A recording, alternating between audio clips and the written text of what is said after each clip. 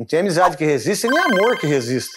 Esquece, nunca mais. Nem no meu caixão. Aí, pessoal, quiser fazer a pergunta pra mim, né? É só chegar no Instagram e fazer. Eu acho que nessa última do Instagram, acho que deu quase 90 mil pessoas aí.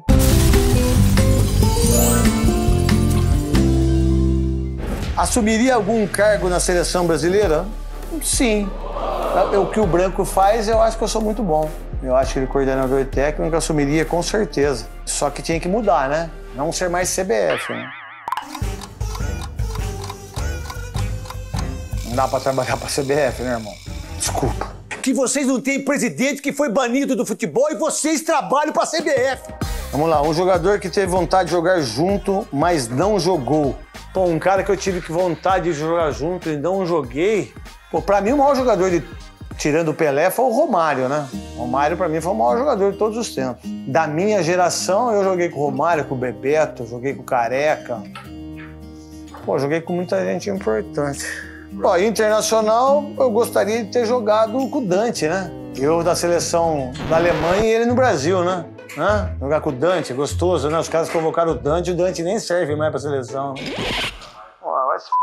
Eu jogar, vou jogar com nenhuma. Vão pra casa do capeta! Tem algum time que você se arrependeu de jogar? Hum, nenhum. Talvez eu tenha me arrependido de não ter me esforçado mais. Não ter me dedicado mais. Por exemplo, no Santos, no Atlético Mineiro. Eu acho que se eu tivesse me dedicado mais, poderia ter me tornado ídolo dessas duas equipes. Eu!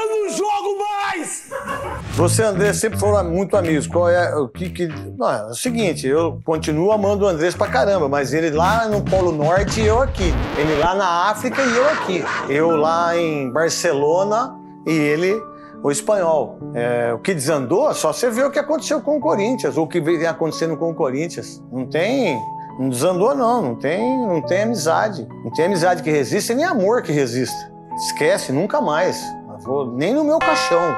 Nem quando estiver sendo enterrado lá. É, o Andrés, então a nossa amizade durante 30 anos, ela tá guardada num pote. Bem assim, num pote. Poxa, daqui a pouco vai chegar o pessoal da rádio aí. Sei que você tá muito animada. Né, com a nossa entrevista, né? Que você tá dormindo na ilha. Crack, pra você, quem é o melhor comentarista do Brasil? Primeiro sou eu. Eu sou o melhor que tem nesse país. Hoje, o que eu mais gosto são dois. Dois. Paulo Nunes e Zinho. Cara, o que tem de comentarista que não fala aquilo que eu enxergo do jogo é impressionante. Aí o cara mente pra você assim, ele dá números, estatística, papapá, papapá, papapá, papapá, mas ele não fala do jogo. Porque ele é só estudioso e até comentaristas e jogadores. Pô, eu vejo os comentaristas na. Ainda mais depois que eu fiquei doente aí, que eu operei a coluna, é barbaridade. Os caras não chegam nos meus pés. Não chegam nos meus pés. Cara, que não, eu sou um gênio, cara.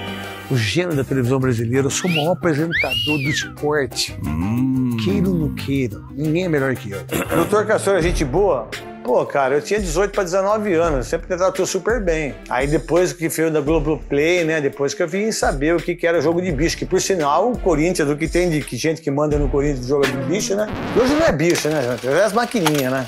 As maquininhas são tem maquininha em tudo quanto é lugar. Eu fui emprestado em 86 pro Bangu. Tanto é que o dinheiro do meu empréstimo, o Guarani contratou o Marco Antônio Boiadeiro do Botafogo de Ribeirão Preto. Eu fui emprestado por três meses. Nessa época não tinha lei Pelé a gente ganhava 15%. E quando eu cheguei lá em Bangu, né, no estádio Mo Moça Bonita, né, que tinha o escritório dele, tanto é que o seu Carlos Maracanã também era um dos patronos do Bangu. Cara, tava com muito medo, assim, porque eu tinha medo de, de, de conversar com ele. Um abraço, faça a pergunta aí que você quiser. Eu respondo tudo.